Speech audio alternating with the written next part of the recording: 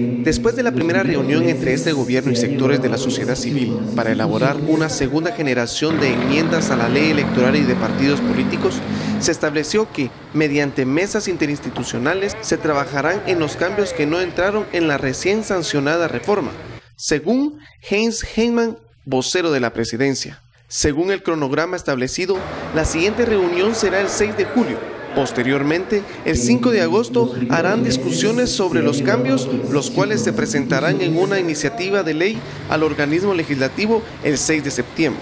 El primer objetivo es establecer la metodología eh, de trabajo entre las mesas interinstitucionales. El segundo objetivo era eh, lograr eh, dejar un calendario realizado sobre la ley electoral y de partidos políticos y qué plazo se espera para entregarlo al Congreso de la República.